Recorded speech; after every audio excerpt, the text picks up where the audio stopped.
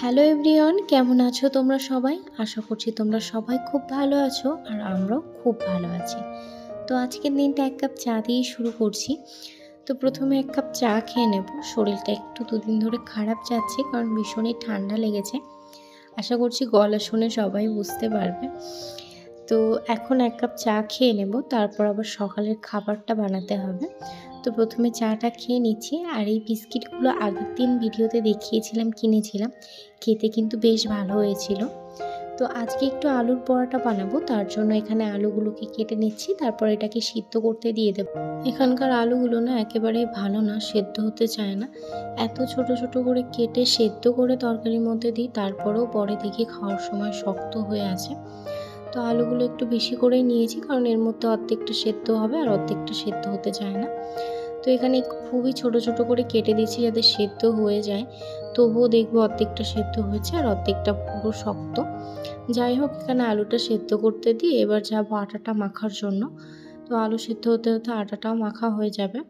আগের দিন এই আটাটা নিয়ে এসেছিল, কিন্তু এখনও পর্যন্ত ঢালা হয়নি বয়েমে। কারণ বললাম শরীরটা ভালো না, কিছুই ভালো লাগছে না করতে।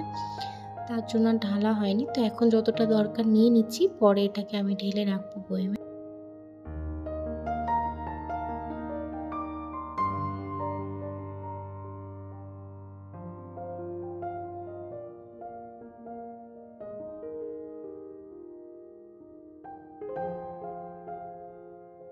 তো আমার আটাটা তো মাখা হয়ে গেছে। একটু নরম করে মেখে নিয়েছি আটাটা। আর আলুর পরোটা লেচি যেহেতু একটু বড় করে রাখতে হয় তো আমি একটু বড় বড় লিচি করে নিলাম। এগুলোকে গোল করে রেখে দেব সাইডে।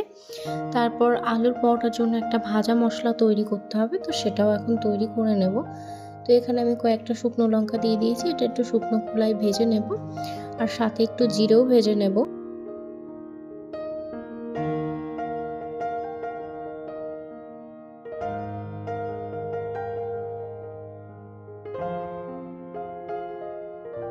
আলুটা সেদ্ধ করে আমি ম্যাশ করে নিয়েছি। এর মধ্যে একটু নুন দিয়ে দিলাম আর এখানে পেঁয়াজ কুচি করে রেখেছিলাম আগে, সেটাও দিয়ে দিলাম।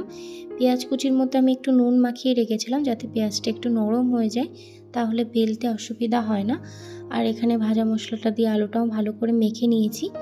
এবার লেচিগুলোকে একটা বাটির শেপ করে তার মধ্যে পুরটা দিয়ে ভালো করে মুখটা বন্ধ করে দেব। এইভাবে আমি সবগুলো বানিয়ে নেব। তারপর ও যখন খেতে আসবে, তখন গরম গরম ভাজবো। এখন ভেজে রাখলে ঠান্ডা হয়ে যাবে, তো খেতে ভালো লাগে না। তো এই ফাঁকে আমি ভাতটাও বসিয়ে দিচ্ছি, কারণ ওর আসার এখন অনেকটা দেরি আছে, তো হাতে কিছু সময় আছে। এই ফাঁকে দুপুরের জন্য ভাতটাও হয়ে যাবে আর সবজিগুলো আমি কেটে নেব।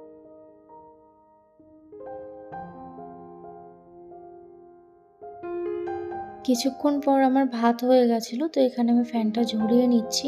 আর ও চলে এসেছে খেতে, তো এখন পরোটাগুলো ভাজবো। ভেজে ওকেও খেতে দিয়ে দেবো, আর আমিও খেয়ে নেব। আর ভাত হতে হতে কিন্তু আমি দুপুরের জন্য সবজিগুলো কেটে নিয়েছিলাম। এবার একটা করে পরোটা বেলবো, আর একটা করে ভেজে নেব। আলুর পরোটা বেলাটা খুবই আস্তে আস্তে বেলতে হয়, বেশি প্রেশার দিয়ে বেলা যায় না। নাহলে চারিদিক দিয়ে ফেটে বেরিয়ে যাওয়ার একটা ভয় থাকে। তো এখানে আমি বেলে একটা ভাজতে দিয়ে দিয়েছি।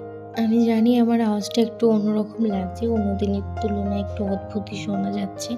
আসলে আমার কথা বলতে ভীষণই অসুবিধা হচ্ছে, এত পরিমাণে ঠান্ডা লেগেছে আর এত গলা ব্যথা যে কথা বলতে ভীষণ অসুবিধা হচ্ছে। তবুও যেহেতু ভয়েস না দিলে ভিডিওটা পোস্ট করতে পারব না, তার জন্যই ভয়েসটা দেওয়া। তো তোমরা একটু ম্যানেজ করে নিও। তো এখানে পরোটাগুলো ভেজে ওকে খেতে দিয়ে দিয়েছি আর এটা আমার, আমিও খেয়ে নেব। খাবারটা খেয়ে চলে এসেছি দুপুরে রান্নার জন্য। তো আজকে আম ডাল করব, তার জন্য ডালটাকে সেদ্ধ করে নিয়েছি। এরপর আম দিয়ে ভালো করে ফুটিয়ে এটা নামিয়ে রেখে দেবো। প্রথমে ভাজাটা ভেজে নেব, তারপর ডালটা ফোড়নে দেব। তো আজকে লাউয়ের খোসা আর আলু ভাজছি। এটা আমার মা ভাজতো, আমার ভীষণ একটা প্রিয় খাবার বলতে পারো। তোমাদের কার কার বাড়িতে এরকম লাউয়ের খোসার আলু ভাজা হয়, অবশ্যই কমেন্ট করে জানিও। তো ভাজা হয়ে গেছে, এবার এই তেলের মধ্যেই আমি শুকনো লঙ্কা আর সর্ষে ফোড়ন দিয়ে, ডালটাকে ফোড়ন দিয়ে দেবো। সামান্য মিষ্টি দিয়ে এটাকে নামিয়ে নেব। তো এই অবধি রান্না করতে করতে মনে পড়ে গেল যে চৈত্র মাসে আমাদের লাউ খায় না, তাই আর রান্না করা হলো না।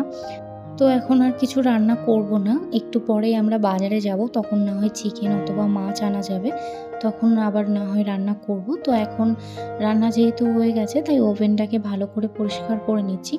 প্রতিদিনের মতো সার্ফ দিয়ে ভালো করে ওভেনটাকে পরিষ্কার করে মুছে নিচ্ছি। আর রান্নার জায়গাটাও ভালো করে মুছে নেব। যেহেতু এখানে রান্না করা হয়, তো এখানে ভালো করে সবসময় পরিষ্কার পরিচ্ছন্ন করেই রাখি আমি।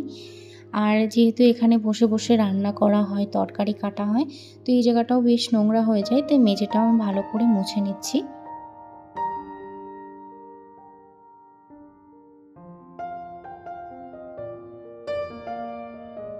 তো রান্নার পর যে বাসনগুলো হয়েছিল সেগুলোকেও আমি ধুয়ে নিয়েছি। এবার এগুলোকে একটু জল ঝরতে দিয়ে দেব। তারপর যাব রেডি হতে। তো চলো প্রথমে রেডি হয়ে বেরিয়ে নিই, তারপর বাকি কথা হচ্ছে। এরপর রেডি হয়ে পৌঁছে গেছিলাম বাজারে। আজকে এসেছি একটু কুলার কেনার জন্য, কারণ এখানে প্রচণ্ড পরিমাণে গরম। তো অনেক দোকান ঘোরাঘুরি করার পর এই কুলারটা ফাইনাল হয়েছে। তো আমাদের এই কুলারটা এখন প্যাকিং হচ্ছে। এরপর কুলারটা কেনা হয়ে গেলে আমরা চলে এলাম। পাওভাজি খাওয়ার জন্য এখানকার পাওভাজি ভীষণ ভালো হয় খেতে। আর যেহেতু একটু দুপুরও হয়ে গেছিল আর আমরা লাঞ্চ করে আসিনি, তো একটু খিদেও পেয়ে গেছিল। তো এখান থেকে পাওভাজি খেয়ে তারপর আমরা যাব বাড়িতে। চিকেন নিয়ে নিয়েছি, বাড়িতে চিকেনটাও রান্না করতে হবে। তো এই অবধি রাখছি ভিডিওটা। ভালো লাগলে লাইক কমেন্ট আর সাবস্ক্রাইব করতে ভুলো না। দেখা হচ্ছে নতুন একটা ভিডিওতে